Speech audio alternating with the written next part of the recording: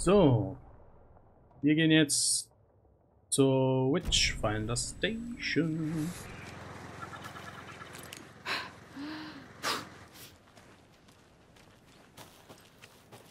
Da war ein Schloss vor, ne? Ja. Exit zur Station? Ja.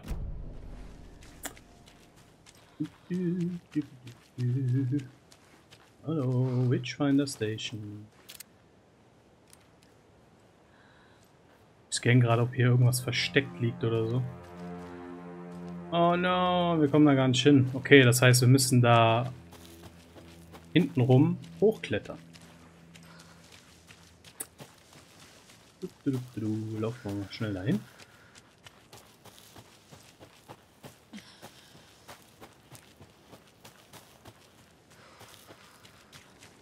Ich dachte jetzt von hier, aber ja, gibt es noch einen Weg. Witchfinder Station.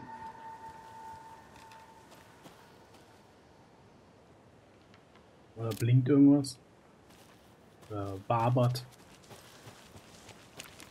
Schubert? Oh, hier. Auf so einem Stuhl sitzen und dann die Aussicht. Oh, hammergeil. War da vorher so ein Fels? Das war doch alles flach, oder? Ja, wieder so ein Dort drüben ist ein Reim. It's Rhyme. Lesen wir den Rhyme. Ein mutiger Held verließ sein Haus und zog nun in die, in die Welt hinaus. Doch aus den Wäldern kroch der Isegrim, nur Böses hatte er im Sinn. Und alles, was er fand im Haus, fraß gierig, schingend er dann auf. Und als, er, als der Held zurück einst kam, von seinem Liebchen blieb nur ein Arm. Noch äh, check ich das hier nicht so.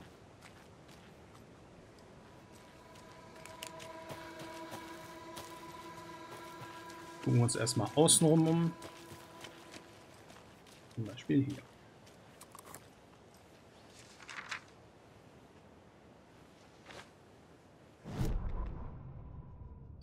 Ein Übergang des dunklen Ortes braucht einen Anstoß aus beiden Richtungen, um sich zu manifestieren. Die Realität in unserer Welt wird durch wiederholte, an einen Ort gebundene Dunkelheit-Überlieferungen zerfressen.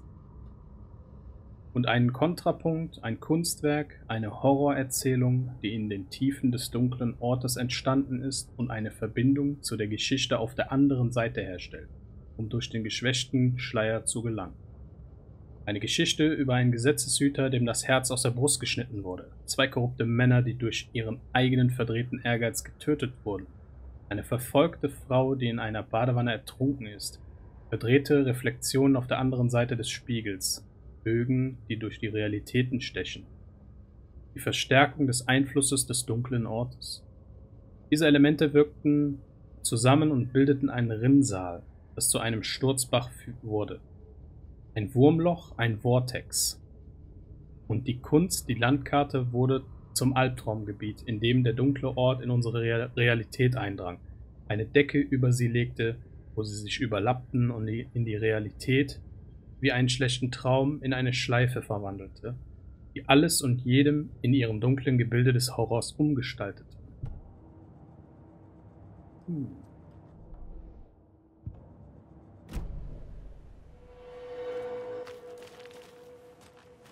Da zuckt es wieder ein bisschen mehr. Zuckel. Ich habe das Gefühl, das Spiel muss ich irgendwie nach jede, jeden drei Part so ähm, mal neu starten. Keine Ahnung. Es zuckelt, Noch mehr dieser Kinderlunchboxen. es zuckelt auf jeden Fall ein bisschen heftiger. Natürlich wirst du Erfolg haben, sonst wärst du nicht der Held. Hehe.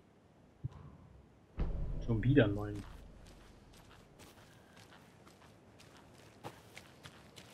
Mal kurz hier runter, nur um abzuchecken. Ja, hier kommt man runter.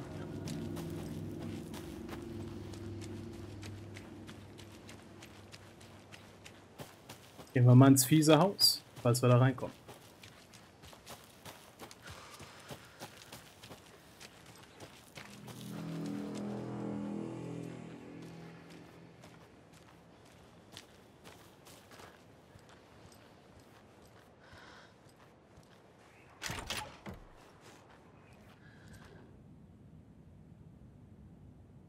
721, Tipp des Tages. Wenn beim Wandern die Natur ruft, sollte man zuerst die Windrichtung berücksichtigen, bevor man sein Geschäft verrichtet.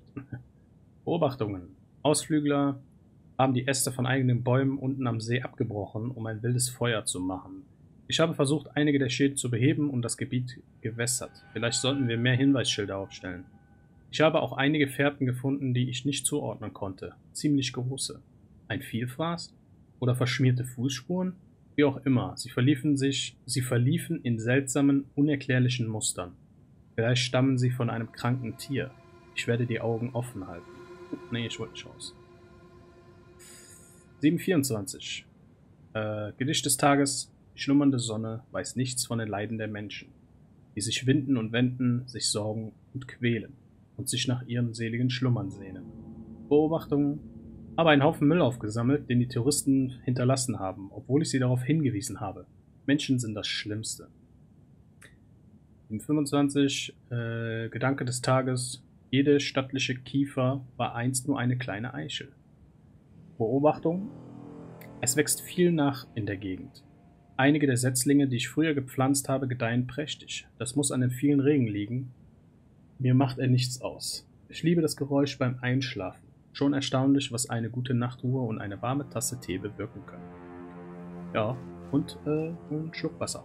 Einen Moment. So. Wer viel liest, der viel trinkt. Oh, die Geräusche. Gott, das sieht ja hier auch äh, alles schön aus. Oder? Das Reflektieren hier in der Spüle und so. Oh, das Geräusch kennen wir doch. Das ist doch dasselbe wie bei den... Ged ja, klar, dass das jetzt ausgeht. Ja. Ich hab ne Knarre.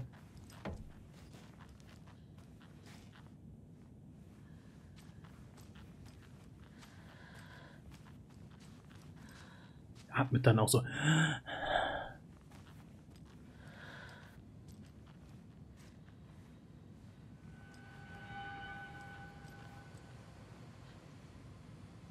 Oh. Passwort. 1, 2, 3. Ey! Alter! Der lässt mich nicht löschen. 1, 2, 3.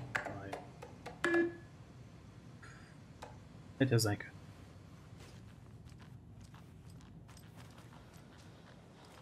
So, gab sogar zwei Eingänge.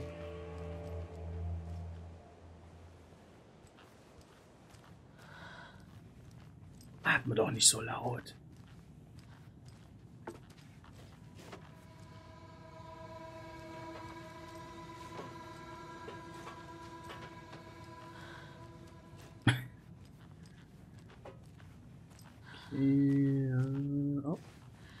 Ruhe in Frieden. Ich hoffe, ihr seht was. Ich glaube, die streichelt gerade den äh, Hirschkopf. Die hat's mit Hirschköpfen.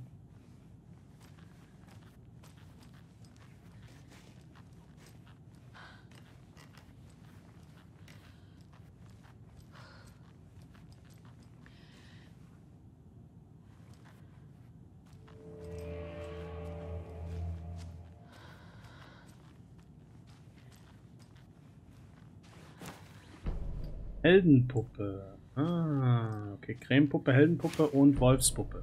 Wir haben alle Puppen. Bis jetzt. Äh. Achso, hier. Sammeln. Äh, Testorte am Cauldron Lake. Standortvorbereitung. Hinweis. Witchfinder Station 2, Flussufer 1, Ferienhäuser am Cauldron Lake 1. Oh. oh. Okay, werde ich geblockt.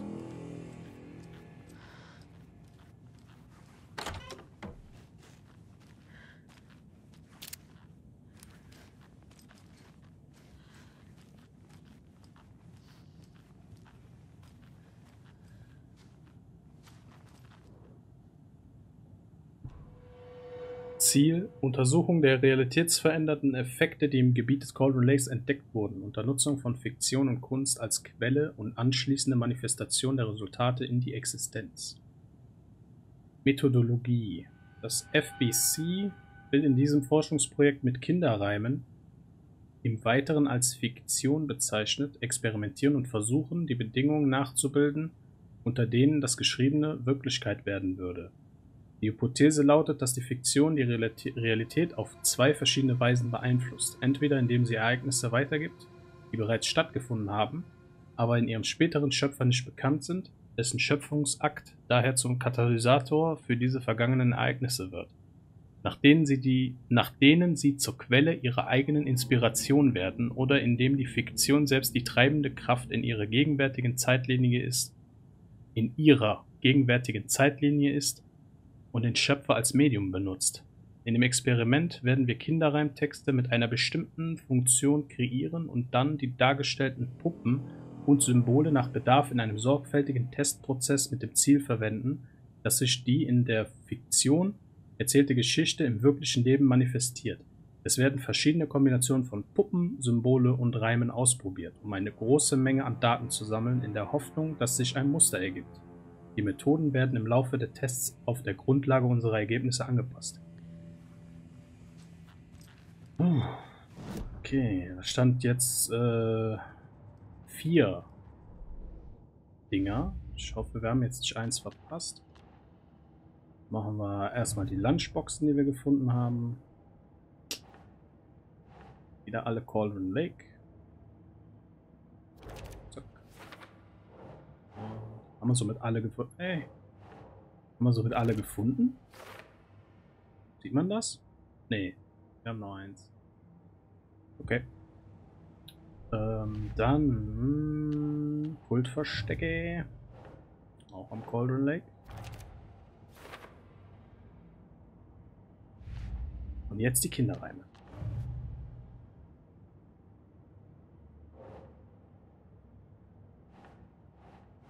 Erstmal Puppen.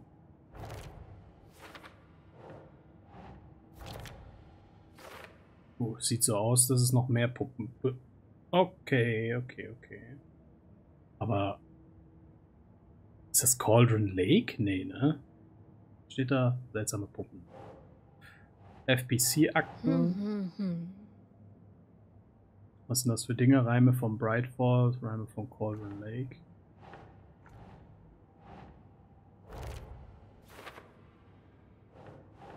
Macht keinen Sinn. What?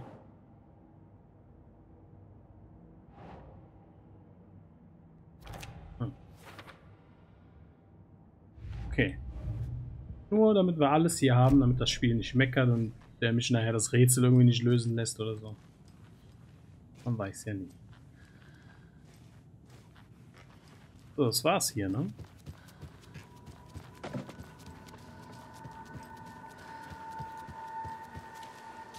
So, hier ging es sich ja um den Helden, ne?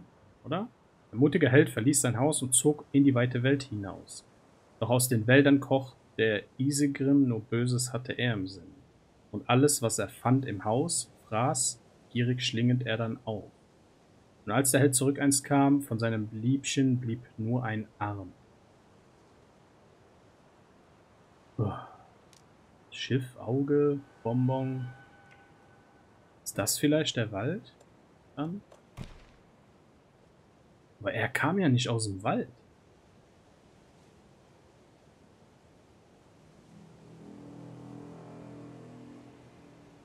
Also der Held ging weg, dann kam der eine aus dem Wald, frisst alles auf und dann, als der Held zurückkam, von seinem Liebchen blieb nur ein Arm.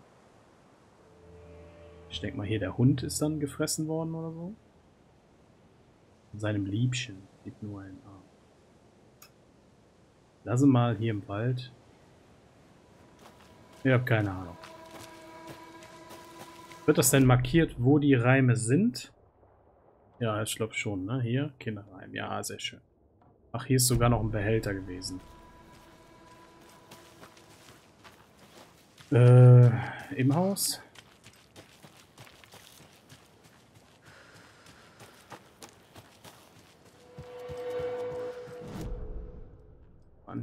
Behälter. Rechts in der Ecke. Hier? Ach, hier. Ja, es ist halt wirklich immer schwer zu sehen. Hm, Shotgun-Muni. Sogar acht Schüsse diesmal. Nice, nice.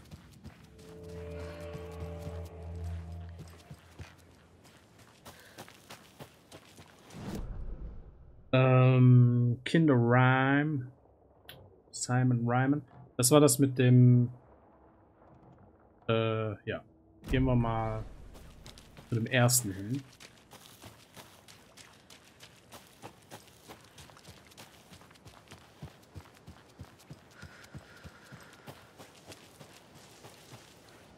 Ups.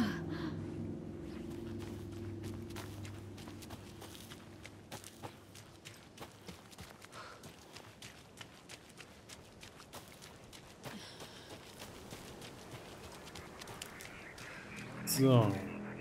Hier war der erste. Ein Vogel für das Licht, zwei für die Dunkelheit. Drei Vögel, wenn der Kampf ausbricht, vier für eine Schlacht, fünf Vögel für die Wunden, sechs für die Geschunden, sieben fürs Ende, was immer es ist. Und hier ist ja das Haus. Müssen wir vielleicht ähm, zum Beispiel den Superhelden jetzt hier ins Haus und dann sind die Symbole anders in einer anderen Stelle. Licht und Dunkelheit, Kampf, Schlacht, Wunden, geschunden. Oh, oh mein Gott.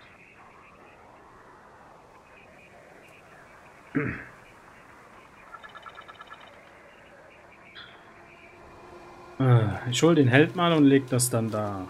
Ich, ich habe keine Ahnung, ob es richtig ist, aber... Und Schlüssel haben wir... Wir haben zwar einen Schlüssel, aber den konnten wir bisher nicht benutzen, ne? Da war ja irgendwas mit Flussufer.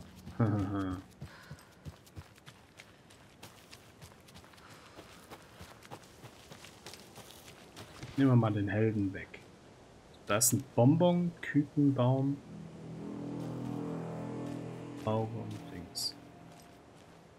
wie sehe ich denn hier meine Gegenstände? Schlüssel zum Kultversteck am Fluss am Cauldron Lake.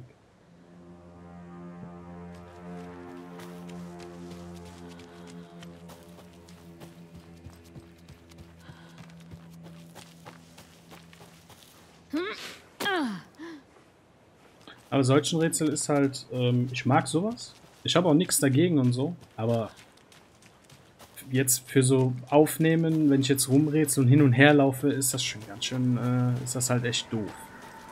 So wird es mir nichts ausmachen, wenn ich hin und her laufe und, ähm, ich sag mal, ausprobiere und gucke und so.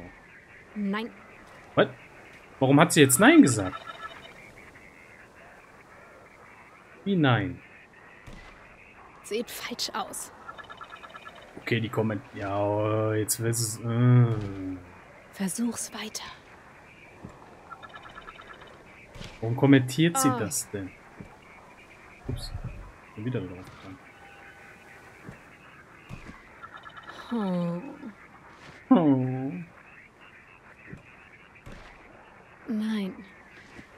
Okay, das heißt, die Puppe ist gar nicht hier. Also ist das wirklich für Vögel. Aber ich habe doch keine Vogelpuppe. Macht keinen Sinn. Leute, warum macht er mich denn jetzt so durcheinander? Bin jetzt voll lost. Das ist auch plötzlich was kommentiert. Eben hat es die ganze Zeit gar nichts kommentiert. Also war das richtig, dass ich den im Wald gelassen habe? Oder was?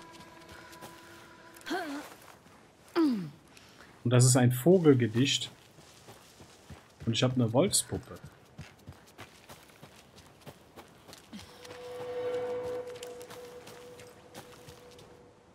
Will ich jetzt mal testen, wenn ich den jetzt hier hin tue.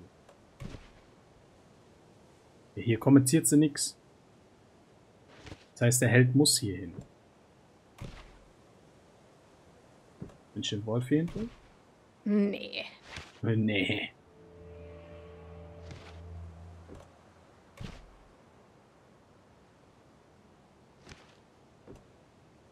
Also ich gehe jetzt einfach mal von aus, weil sie nichts sagt. Gehört der Held auch hier zur Geschichte. So, da geht es aber hinten um Vögel. Ähm, das heißt, ich muss die Krähenpuppe da wegnehmen. Hier hinbringen und die Wolfspuppe kommt dann hinten. Da können wir auch direkt noch speichern. Nur für den Fall.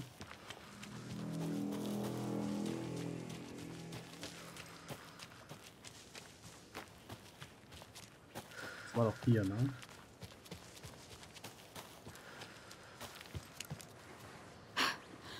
Wir uns hier nochmal durch. Worum ging es denn hier? Eine Krähenmutter hockte im Nest hernieder, wachte über ihre Jungen mit ihrem Gefieder. So, wenn ich jetzt den Wolfi hin tue, sagt sie nee. Ah, doch. Vor allem Getier, das eindringen könnte in ihr Revier und ein Recken würde es brauchen, sollte je ein Wolf im Nest auftauchen. Ach so. Also gehören beide hier hin. Also die Mutti beschützt ihr Kind und der Wolf kommt aus dem Wald.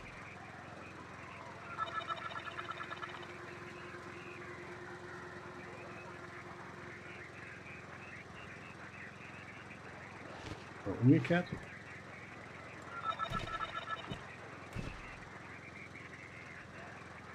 Eine Krähenmutter, Krähenmutter hockte im Nest hernieder, wachte über ihr Jungen mit ihrem Gefieder. Sie schützt ihr Heim vor allem Getier, das eindringen könnte in ihr Gewirr. In ihr Revier und ein das Wollen Nest.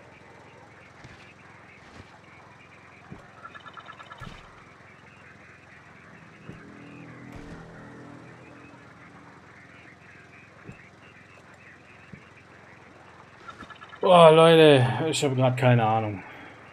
Hm. Brauchen wir mehr Puppen?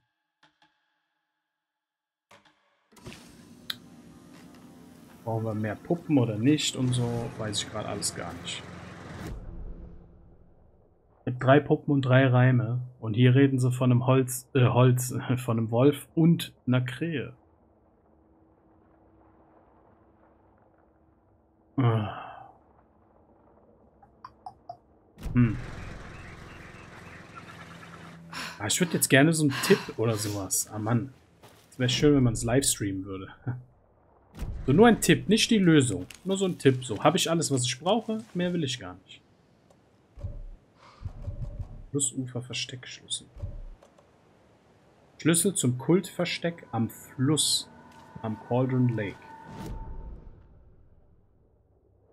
Also kann ich vielleicht doch nach hier. Geh mal kurz gucken. Aber nee, es ging ja nicht. Da hab ich doch schon versucht. Oh no, bitte geh weg. Ich hab keinen Bock gegen euch zu kämpfen. Komm, geh weg.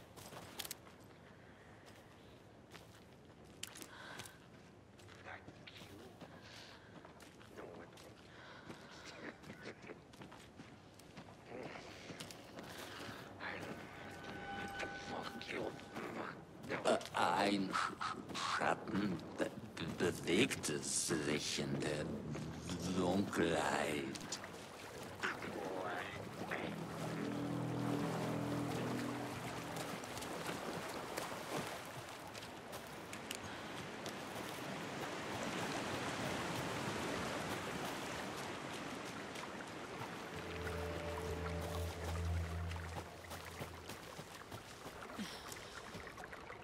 Achso, hier kann man gar nicht rein. Hier vielleicht?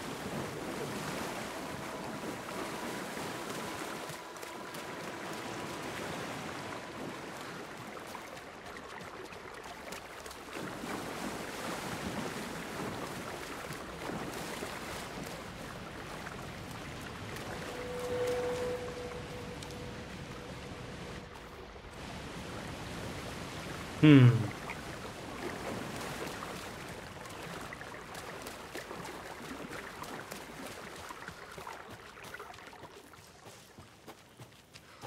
Kann ja nochmal zurückkommen.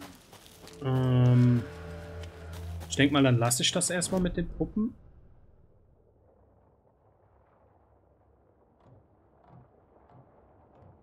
Das Ufer oder vielleicht hier runter? Nee. Kann man hier weiter runter? Es gibt ja sonst keinen Fluss, das muss ja hier irgendwo sein.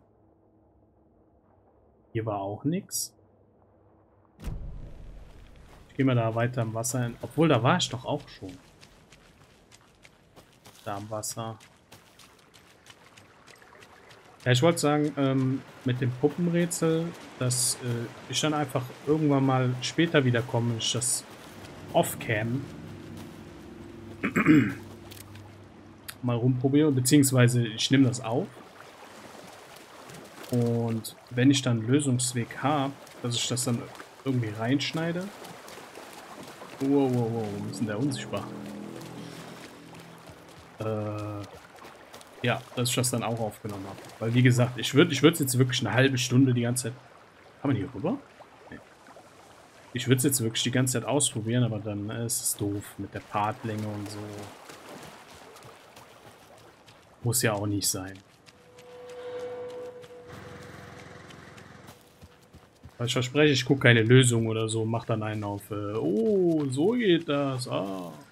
So, eventuell, wenn ich lange dranhänge und ich sehe wirklich keine Lösung oder so, dass ich versuche, mir da irgendwie so einen kleinen Tipp im Sinne von, kann ich das jetzt überhaupt lösen oder nicht, ähm, so zu holen. Dann geht's jetzt erstmal weiter. Hier die Dinger kriege ich ja alle nicht auf. Äh, ja, hier lang, ne? Wir müssen ja zurück zum Auto.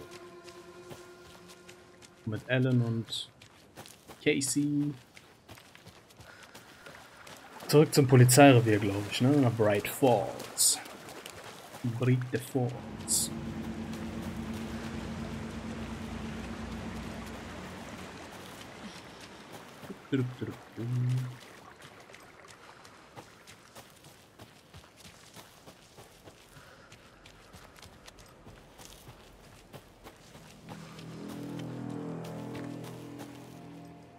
Witch's Hut, wir gehen hier nochmal lang. Äh, nehmen wir die Abkürzung, also rechts einmal rum und dann hoch.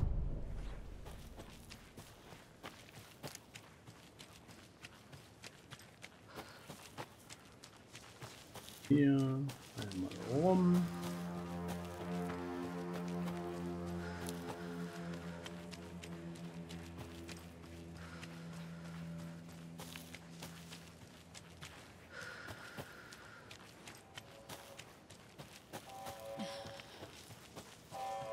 Mal ganz kurz nach hier vorne, weil da konnte man auf den Buzzer drücken.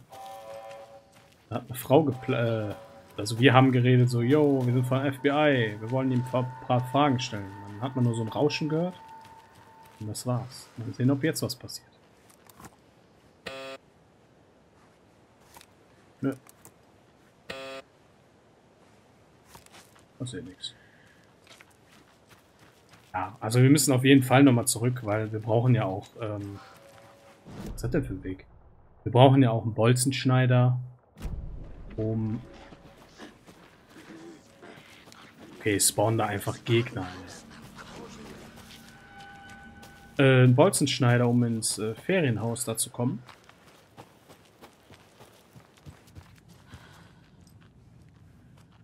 Und ja. Kann ich das jetzt aufsammeln? Da ist das so ein Ding, so ein, so ein, ne, eine Whiskyflasche. Na gut, die Typen sind jetzt bestimmt weg. Nein, sind sie nicht.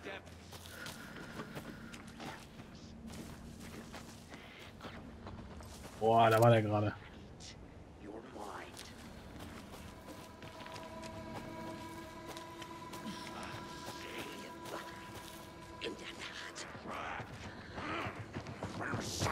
Oh, shit. Ah, das ist doch... Dass er gar nicht auf den Schuss reagiert, ey.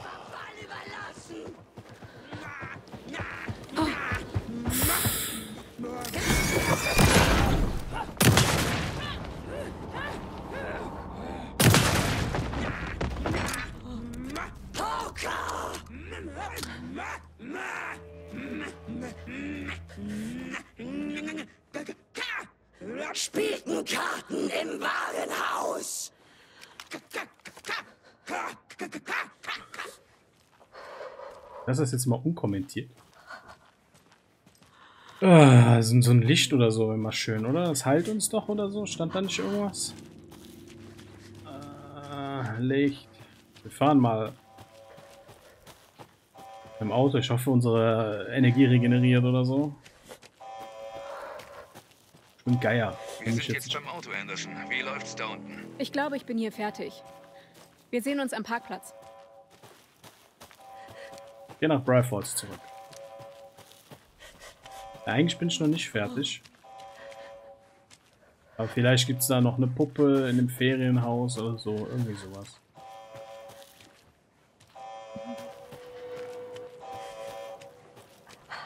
Warum ist da jetzt ein Alarm? Den roten Effekt hätten sie aber auch ein bisschen reduzieren können. Der ist schon sehr äh, penetrant.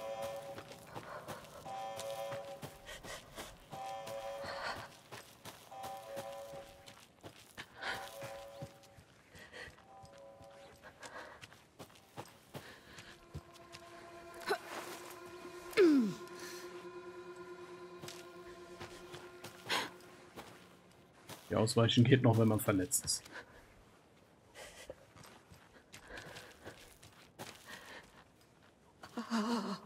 Das Blickfeld, ey. Äh, links rum.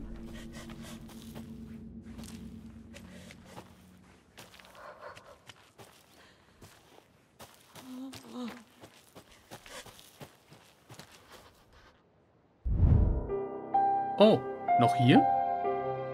Cool, dass du das Video bis zum Ende geschaut hast. Lass Jill nicht zu lange warten. Klick doch hier für das nächste Video. Und vielleicht ein Abo dalassen? Vielen Dank und bis zum nächsten Mal.